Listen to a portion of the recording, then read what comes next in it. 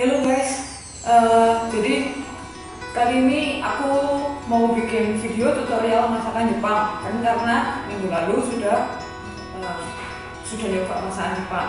Sekarang aku mau masak. Tapi kan aku juga nggak sendiri. Aku mau ditemani sama teman aku ya. Jadi silakan perkenalkan diri anda.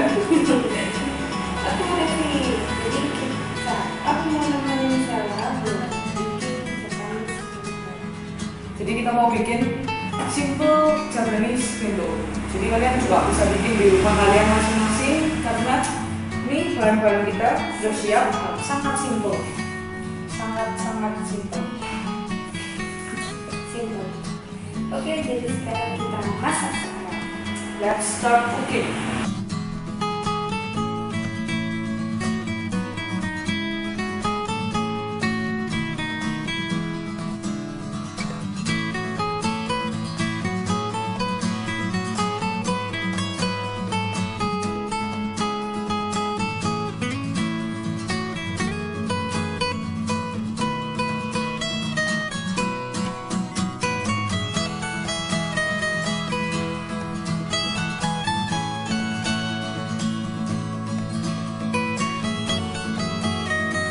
Jadi ini karena masih nunggu merebus telur, jadi sekarang mau motong-motong kornet dulu sama mau potong sosis. Habis itu mau ngerebus wortel juga.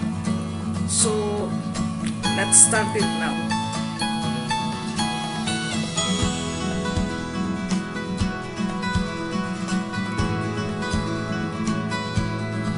Jadi ini kornet yang udah dipotong, nanti mau dibentuk kayak babi. Nah, ini bisa diganti sama ham juga. Rasanya sih sama-sama enak, cuma kali ini aku pakai kornet karena ya harganya lebih murah. Oke, jadi karena nanti ada guritannya pakai sosis, sekarang aku mau potong-potong dulu sosisnya. Pertama, ini dibuka ya, jangan dimakan. Apanya? Dimakan nggak bagus. Bisa bikin mati nggak? Sedikit. Mati sedikit itu kayak apa ya? Ini bisa bikin mati nggak sih? ini loh guys, harus kalian ambil. Jangan dimakan nggak enak rasanya. Oke, setelah itu Dipotong. potongnya juga ada stepnya.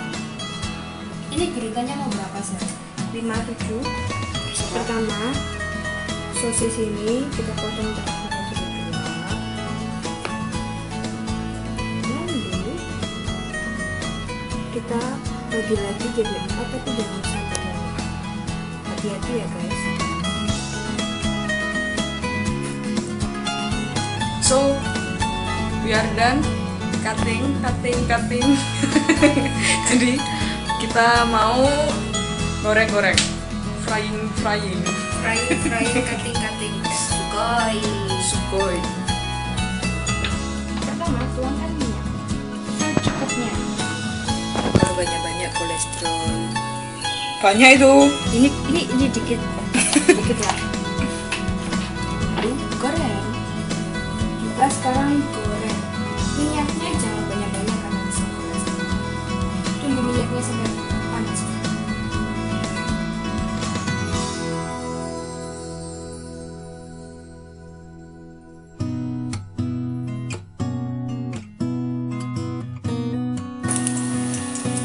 Lihat nih, udah mulai melebar. Sudah mulai melebar. Baru mulai, belum melebar. Eh, jadi ada empat gurita. Empat itu bahasa Jepangnya si. Si, Gurita bahasa Jepangnya Sela. enggak. Biasanya takoyaki itu pakai gurita. Jadi Berarti kita si takoyaki.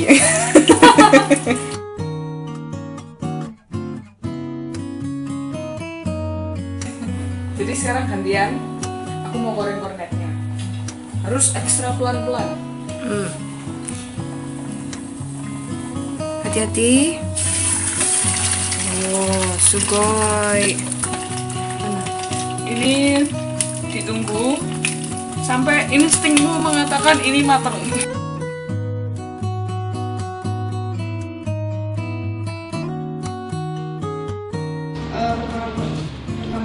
kalian siapkan nasi sama plastik. Plastik wrap. Eh, jadi nanti kita bentuk nasinya itu pakai plastik. Kita ambil secukupnya nasinya.